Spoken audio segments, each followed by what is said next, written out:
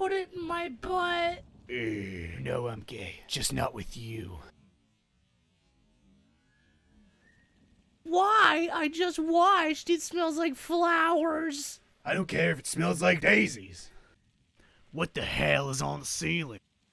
Who are you? Hedwig, what do you mean? Why are you wearing a corset in bed?